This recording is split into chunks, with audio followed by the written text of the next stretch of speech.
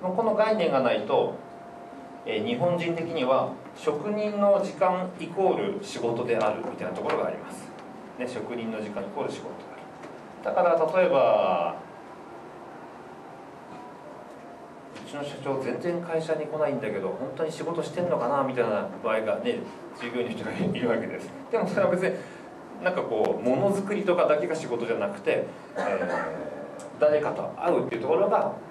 仕事になったりですねその将来のビジネスになったりもしくは、えーまあ、ぼーっとしてるように見えてその将来のことを考えてるとかね、えー、計画書書いてるとかねその時間こそが本当のビジネスの時間だったりですね、え、そんなふうになるわけです。なのでまあ職人だけがどうしてもねなんか汗かきなさい働きなさい手と足動きなさいになっちゃいますけれども、まあ、それだけじゃなくてそれと同時に頭を使ったりですね、え自分のためにそして未来のために時間を作るってことが、えすごくね大事だったりします、えー、その職人的要素が多いとどうなるかというと売り上げが上がれば上がるほど忙しくなるっていう状態になってしまいます。でこれがですね僕もあの今から45年前本を出して少ししたぐらいまでもうほぼほぼ職人的要素の時間を過ごしていたんですけれどもそうすると自分は食べていけるわけですよ。売り上げもね全然問題ないし自分は食べていけるんだけども世の中が変わるかっていうと世の中あんま変わんないんですね自分だけでやってても。でそこで職人的要素だったものからもうちょっと違う形に展開していくっていうことを行ったんですけれども、えそれは何かっていうと今日皆さんにこういくつか質問をしています。で質問を書いて答え合うっていうことをやっていきます。でえー、とですねさっき渡したワークシート9マスのワークシートがあってですね時間があればあの後でまとめてやりたいなと思ってるんですけれどもこの質問仕事術の後ろの方にですねえー、その8マスにどんな質問を書きどんなような答えを書けばいいかっていうものが書いててですねそれ売り上げを上げるための8個の質問それ8マスありますからね、えー、8個の質問とか会議を活用するための8個の質問とかそんなことがですね、えー、たくさん書いてるんです。で最初僕コーチングからスタートしたのでコーチングっていうのはそのコーチングを受けたい人とコーチングをする人2人においてその人の悩みやその人の目標を聞いてその人に合わせた質問をする。っていうことをやっていくわけなんですね。なのでもう100%オーダーメイドです。その人のまあ、会わなくてもスカイプでやるとか電話でやるとかっていうのがまあ当たり前なわけです。でもそうするとどう頑張っても職人なんですね、うん、でそれをそれだけやっていては僕は世の中を変えたいなっていう、ね、ビジョンがさっき言ったようにあったのでそれはなかなか世の中変わらないなと思い始めました。で、えー、この質問仕事術の後ろの方にあるその8マスの質問はですねえー、魔法の質問マンダラチャートっていう僕が作った質問集があるんですね、えー、その質問集から抜粋したものをここに入れてるんですけれどもその質問集を作りました、えー、売上を上げたいという時にはこの質問をこの順番でするといいなっていうものを作りました。ストレスを軽くしたいなって言えばこの順番でこの質問すればいいなっていうものを作りました。でそれをもとに僕やってたんですねいろんな人向けに。で、えー、そのテキストを作ってテキストだけも販売してるんですけれども、えー、っと2007年からだから5年前からですね、えー、そうしたところ東京に行っても大阪に行っても、え、そして福岡に来てもその質問集をですね買った方から「いやあれ会社で使ってるんですよ。すごく使えるんですよね」っていう声をいただくようになりました「いやあれ仲間内で使ってるんですよ。あのみんなで集めてねやってるんです」っていう話を聞きます。僕に断りもなく勝手にもうみんなやってるんですね。でああでも効果が出るんだと思ったわけです。で、えー、僕が講師の依頼がたくさん来るので、えー、どうしても日が重なってですね出れないものもあって講師できないものもあるんですね。でその時に代わりの講師の人というかにお願いをしてなってくれそうな人にお願いをして、あんまり余計なこと喋れなくていいからこの質問をこの順番でやってみてねって言ったんですね。そしたら参加者の方から後で聞いたのです。ごく良かったっていう話をいただきました。そこで発見したのはあ僕じゃなくてもいいんだ。ということが分かったわけです。この通りにこの質問をすればいいんだよというかね、えー、分かったわけです。まあそうすると100点は取れないかもしれないけれども80点ぐらいは取れる。で別に喋る技術がなくても、まあ、ある程度のマインドを持ってこの通りに質問してくれたらうんある程度の成果が出る。であればそういった仲間を増やそうかなと思いました。でそれがですね今から3年半前にスタートした魔法の質問認定講師っていう制度です。でその魔法の質問の認定講師の方々は、えー、僕が作った質問集をもとに、えー、いろんな場面で学校でとか、えー、会社でとか、え質問をしていく人たちなんですね。でそうすると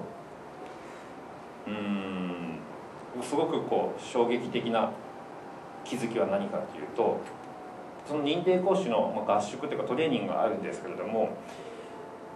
1回目のトレーニングと2回目のトレーニング2回で終わりなんですけどもその間1か月間ぐらい空くんですね。でその間にその質問の使った講座を2回やってくるっていうのがトレーニングなんです。まあ少人数でもいいので。で約50人の方が1回第1回目の講座で集まってくださっ、えーみんな2回ずつやってきたので約1か月で100回行われたわけですね100回って僕が半年かけてやる年間200回やってましたからね、えー、半年かけてやるものをたった1か月でできちゃったと思ったんです。いろんな人たち。でこれは素晴らしいなこれは世の中変わるかもと思って、えー、そういった制度を作ったり仕組みを作ったりしていってうん僕だけじゃない人たちが魔法の質問を全国至る所で北海道から九州沖縄今はシアトルにもいるんですけれども、えー、全国で300名の方々が、講師として、活動しております。そんなふうに まあ、この概念が、えー、あったからこそ、まあ、自分がずっとやっていけばいいやっていうことではなくそこでちょっと起業家の時間を増やし、えー、仕組みを考えていってえー、今もなお進めていってるっていうのがあります。えー、ぜひですねうん自分がいないとダメ自分がいないと成り立たないっていう、まあ、ビジネスだったり活動がどうしても多いと思いますただ自分と全く同じじゃなくてもできることもしかしたら形を変えれば形を少し整えれば何かのサポートの道具があればできるかもしれません。そうすると結果的にその世の中が変わるきっかけになっていくので、えー、ぜひそんなことができることはないかなということをですねうん知ってほしいなっていうのとあと そのマイケル・ガーバーのところに行って学んできたっていう話をしましたがマイケル・ガーバーはまあ職人だけじゃなくて起業家要は自分がひたすら動かなくても収益が上がる方法を作った方がいいよねっていう話をしてていやフランチャイズをやってみたらっていう、まあ、ざっくり言うとですよ、えー、フランチャイズ的なものをやってみるといいんじゃないっていうことも提案していたりします。で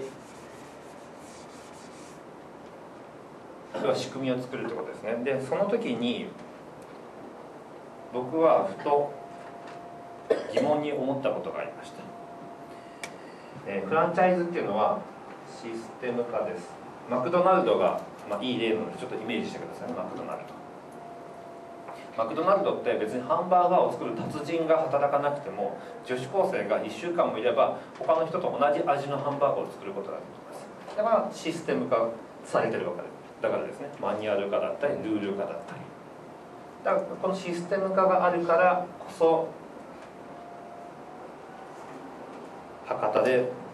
マクドナルドを食べても北海道で食べてもアメリカで食べてもほぼ同じ味が再現できるわけです。ほぼ同じスピードで出すことができるわけです。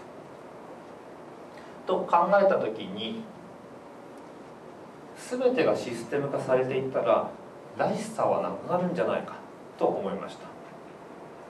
た、ね、らしさはなくなる、えー、働いてる多くの方は私らしい仕事をしていきたいと思います私がこの会社に必要であるあなたがいないとダメよって言ってほしいって思っています。でもあなたがいないとダメよだとシステム化はそもそも成り立ちません。でこれは相反するものなんですけれども、えーと、ここから僕が気づいたことで考えたことなんですがシステム化とはワットなんですね。何でらしさとはらしさを普通みんなねファットと考えるんです。これって本当は僕の中では違うんですけども要は何かというと私らしいものを作るために何を身につけようと考えます。で私らしい活動をするために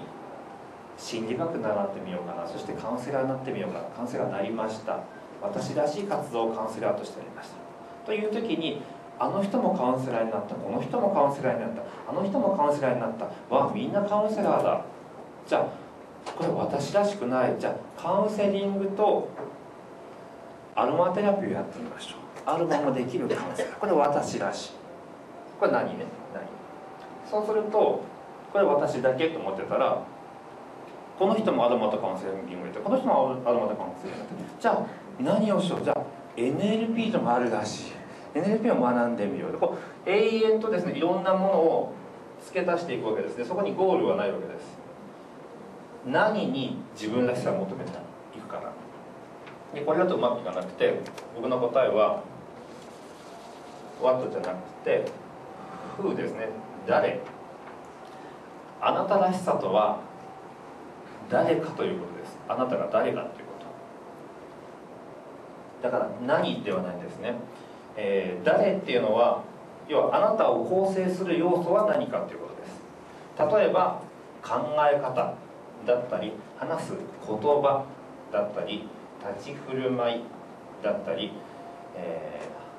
ー、発信する情報の内容だったりもしくは見た目だったりこうあなたを構成する要素があります。でこの構成するそれぞれの要素を磨くことによって